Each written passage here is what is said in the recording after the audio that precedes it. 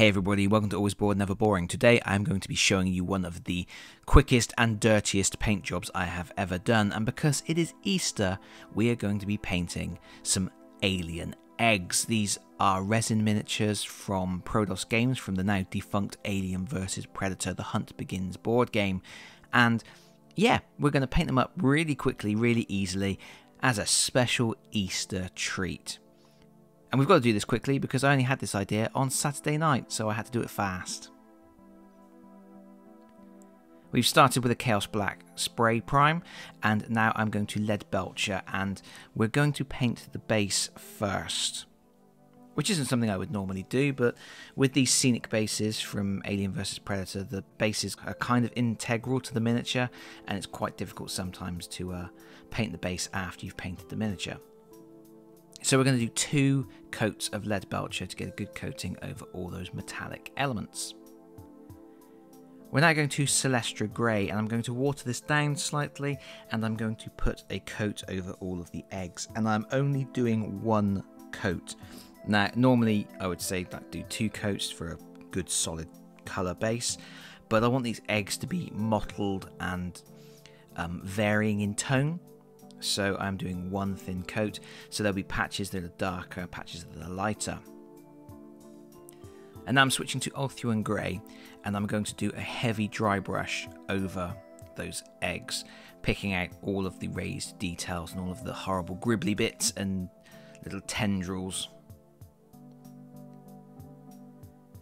We're now going to Nuln Oil, and I'm going to very carefully apply Nuln Oil to just the metallic elements. Like I say, we're doing a very quick job here, so uh, most of what we're going to be doing is, is going to be done with the washes. So just being careful not to get it all over the eggs, because we'll be doing those with different washers, but just picking out all those metallic details.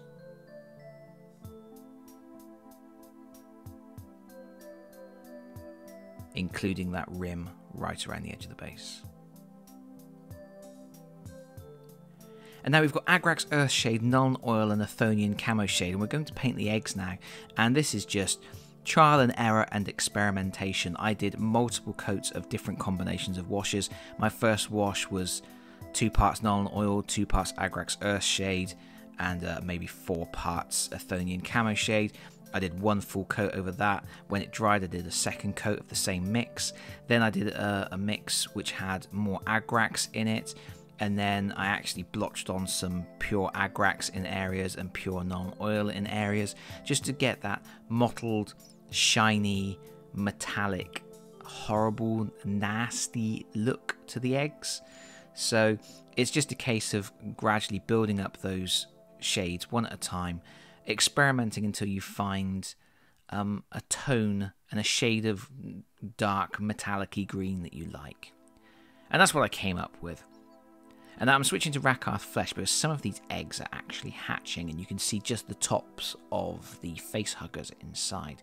So I'm thinning the Rakarth slightly, two thin coats just to pick out the fleshy face hugger bits.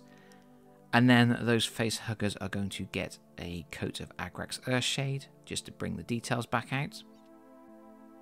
You don't need to be careful obviously about getting any over the eggs and stuff because it'll just add to the mottled effect that you've already achieved with your um, washers.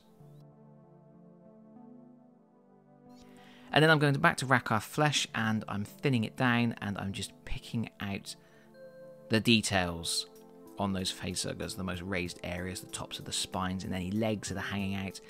And that is done. It took next to no time at all. You can obviously go back, you can add highlights to the eggs, you can dry brush the metal areas, you can add extra highlights, add some rust effects if you want to, but it's Easter. Who's got time for that? Go and eat some chocolate, crack open a beer, sit in your back garden and enjoy the sun, and call that a done deal. Thank you so much for watching this incredibly quick and dirty painting guide. If you have liked the video, please consider pressing the like button. If you have really enjoyed the video, please consider subscribing if you don't already do so. And hopefully, I will see you all again very soon. Happy Easter, everybody, and make sure you stick to the chocolate eggs. Bye bye.